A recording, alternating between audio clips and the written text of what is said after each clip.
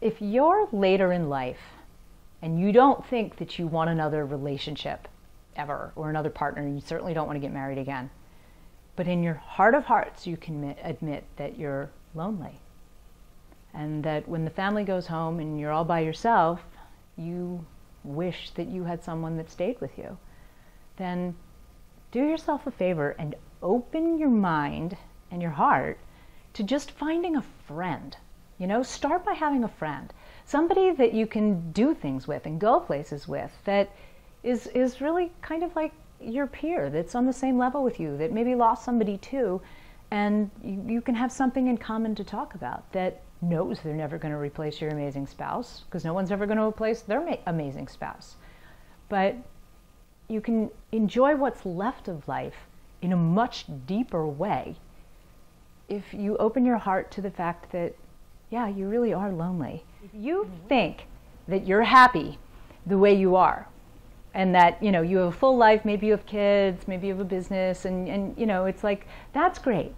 But as a life coach there are seven aspects to the life wheel.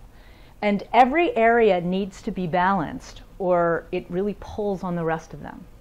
So if in your heart of hearts you're lonely then please open your heart to even the potential of having another partner you don't need to get married again but wouldn't it be great to have somebody to do things with and go places with? And I mean, let's face it, the really fabulous thing about having a partner and being in a marriage is having your best friend to do everything with you.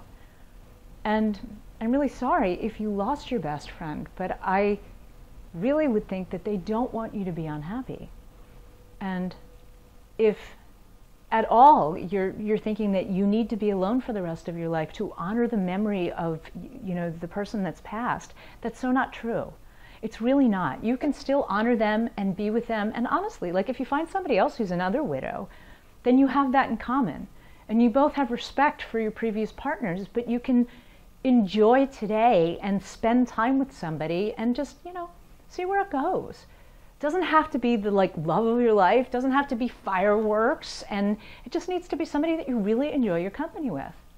Like i was talking to a really beautiful older woman recently who was telling me that friends of hers had fixed her up with a, an, another you know a guy who had also left, lost his wife and that they'd gone out and they'd had no loss for conversation and they had this great time and you know her first initial reaction was like oh i'm not interested. I don't want to date. I, I really don't. But then as I talked to her more, she kept talking about him and kept saying, "Yeah, we really had great rapport." And and then like he hadn't called her again because she'd let him believe that she wasn't interested. But I encouraged her to give him a call because, you know, just as friends, just to have somebody to get together with because later in life, you know, you you've got so much knowledge and you've you probably have a easier situation in life, right? And you have so much to enjoy why do you want to do that alone? If you're honest with yourself, if you feel lonely, even though you're happy in every other area of your life, open your mind to the fact of just finding a companion to spend time with. Somebody to go places with and have dinner with, or, you know, go explore some new museum or, or whatever you like to do. But, you know, having a peer who's close to your age, who's, you know, maybe been through a loss of a spouse like you have, then you might really be able to make each other's lives happier. And there's really nothing to be ashamed of of that or afraid of about that. And it really, life's too short to be lonely.